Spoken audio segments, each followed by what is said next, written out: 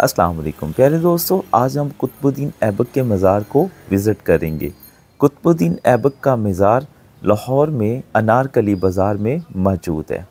कुतुबुद्दीन ऐबक तुर्कमानिस्तान के रिहायशी थे, लेकिन इनको बचपन में ही बतौर ग़ुलाम फ़रोख्त कर दिया गया था और इसके आका ने इन्हें बेहतरीन घुड़सवारी और तीर अंदाज़ी की तरबियत दी थी और इनके आका के वफ़ात के बाद आका के बच्चों ने इनको दोबारा ग़ुलाम के तौर पे फ़रोख्त किया।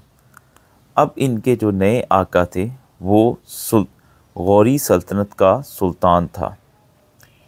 ऐबक एक मरतबा फिर अपने आका का पसंदीदा बन गया और इन्हें घुड़सवार दस्ते का सरबराह भी बना दिया गया। और बाद में सुल्तान गौरी की वफ़ात के बाद ऐबक ने ख़ुद को लाहौर का सुल्तान करार दे दिया।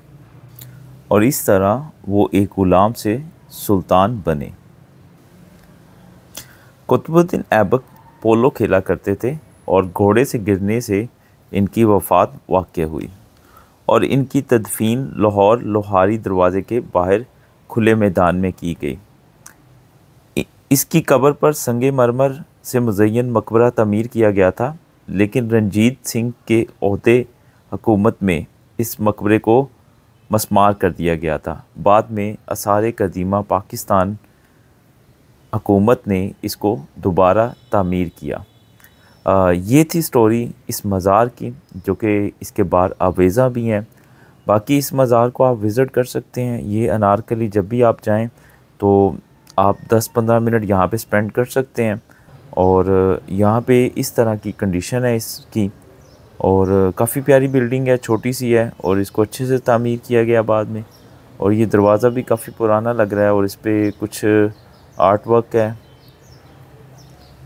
तो बाकी उम्मीद है, छोटी सी इन्फॉर्मेशन मैंने कोशिश की कि मैं थोड़ी बेहतर दे सकूँ। और बाकी मैंने नए नए व्लॉग बनाने शुरू किए हैं, आप सपोर्ट करें, आपकी ज़रूरत है मुझे सपोर्ट की। और इंशाल्लाह मैं अपने आप में डे बाई डे जो है इम्प्रूवमेंट ला रहा हूँ। तो आप चैनल को सब्सक्राइब ज़रूर कीजिएगा लाइक कीजिएगा और काइंडली सपोर्ट ज़रूर करें। अल्लाह हाफिज़।